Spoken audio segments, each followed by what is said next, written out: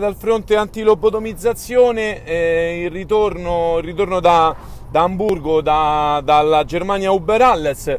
Eh, che, che, vi devo dire? Che vi devo dire? Sono atterrato e praticamente eh, uno vuole provare anche ad avere tutto l'ottimismo del mondo, ma sono andato al bar, appena sono arrivato in Italia, c'era là lì una, una, una specie di Crudelia Demon eh, con la divisa eh, sono arrivato, buongiorno, salve, un caffè. A voi ha risposto? A voi ha salutato?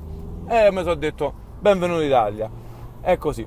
Comunque, volevo rispondere eh, per quanto riguarda, ovviamente sono stato in un paese organizzato, si vede, non è che voglio dire che sia tutto oro, non, non è quello assolutamente, però eh, insomma le cose minime ci sono. Allora io credo che una persona che paga le tasse, che va al lavoro e vuole essere una persona onesta, eh, se non c'ha nemmeno la pulizia sui mezzi, se non c'ha nemmeno il fatto di prendere un mezzo senza nessuno ti rompe le palle, che non c'ha nemmeno eh, il fatto che le, che le, cose funzionino, vorrei sapere, insomma, se non ci sta manco quello e soprattutto se non c'ha una città pulita, perché io sono stato a Hamburgo, poi ho fatto un giro a Brema, che ha una piazza bellissima, stupenda, e, mm, e, niente, volevo rispondere pure insomma, a un ragazzo che conosco, saluto Fabiano, che mi ha scritto eh, giustamente, mi ha detto, dice guarda comunque la Germania non è che è tut, tutto così bellissimo, ci sono anche zone eh, un pochino peggio, beh ma sicuramente non dico di no, eh, non è che voglio dire che è tutto, perché dire che è tutto perfetto credo che sarebbe stupido chi lo dice, ma soprattutto chi ci crede.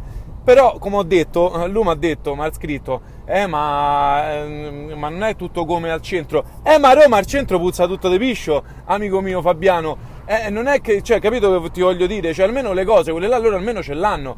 Però, cioè, il contrasto che c'è, che, che poi, come ho detto nell'altro video dove facevo vedere le condizioni del parco di Amburgo, parco stupendo dove tu ci puoi mangiare per terra, il problema del, de, degli italiani e soprattutto i giovani è che loro crescono e pensano a farsi i risvoltini, se, ovviamente se fate moda, eh, perché il giorno prima non gli piacciono a nessuno, il giorno dopo tutti così. Poi eh, gli interessa sta a fare la fila per i locali perché se vive solo per andare a ballare, perché il problema è solo quello nella vita. E mh, mm, poi ovviamente tutti questi posti di sta fila, vabbè già ne abbiamo parlato.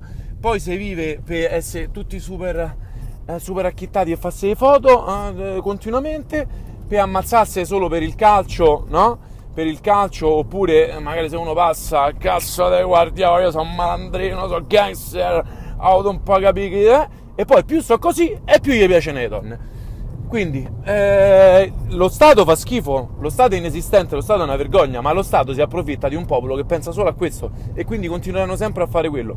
Voi in Italia pensate a seguire sempre ogni moda, tipo pure se vi mettono un lampione in faccia, voi ok, lo fanno tutti, lo, facciamo pure noi, mentre gli altri almeno, almeno i parchi, almeno le cose ce l'hanno pulite. Cioè io sono stato a un parco a Hamburgo bellissimo, sono stato a una piazza a Brema che è un sogno, sembra di stare dentro a un presepe. Cronache dal fronte antilobotomizzazione, mi raccomando, eh, mi raccomando, pensiamo sempre a fare solo questo, eh, non pensiamo a pretendere almeno, almeno un parco pulito. Cristo, un parco pulito. Cronache dal fronte antilobotomizzazione accendi il cervello e spegni la tv che non racconta questo fino in fondo.